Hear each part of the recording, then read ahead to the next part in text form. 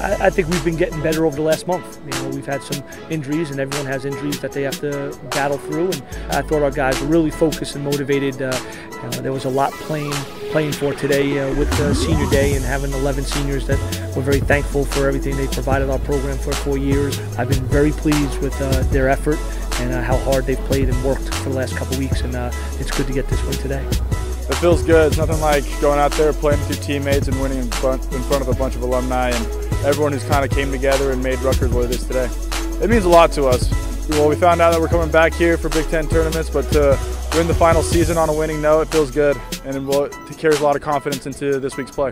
Words can't describe it. I mean, especially coming back from last year and getting another year of eligibility, and uh, getting the win in front of our fans, our alumni, as well as our, our families and friends. Um, obviously, it was a tough first half for us, a little slow to get uh, get going on defense. Let in a few balls here and there, but um, overall, I think we came back and we dug in, and I'm proud of us for getting the win credit goes out to the whole team. You know, breaking that 10-man ride starts with Max, and you know, getting a stop or winning the face-off from Schoen. And you know, when we, uh, I've always said, when our guys play together, six guys moving the ball around, and we open up lanes, and you know, we find each other. So it's good to see. And also credit, you know, Coach Sarame does a great job with the offensive and uh, the rhythm and flow we have, and he did a great job calling throughout the game.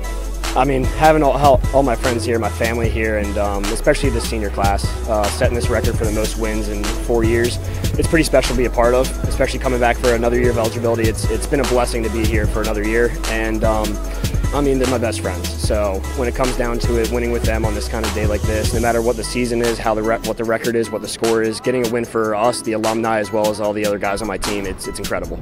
Uh, it's kind of funny. I said to a couple seniors today before the game, I was like, I'm dedicating whatever happens to you today. And, you know, they're a great group. They've carried us, you know, like they said, most winning class and they're uh, in the history. So a lot of credit goes out to them. And, you know, they do what they do every day to make practices good and have a good prep week so we can put it on the field obviously, uh, you know, it, has been a it's been a great class. You know, they've uh, been a part of uh, you know, big time lacrosse here at Rutgers.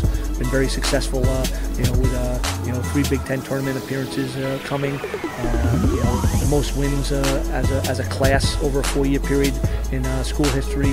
So, very proud of you know all those guys. You know, Max Edelman and Pless and you know Garrett Michaeli, Al Schoen was outstanding today. So, you know, big day out of him. so you know, and uh, our offense uh, continues to, you know, work well together. And you know, uh, I'm just uh, proud of the effort that all the guys made, you know, in practice all week. You know, from Jack Air to Ryan Cunningham to Adam Graham, you know, the, what they give us every day and for four years has has been, you know, it, it, I'm proud of them. It's been great.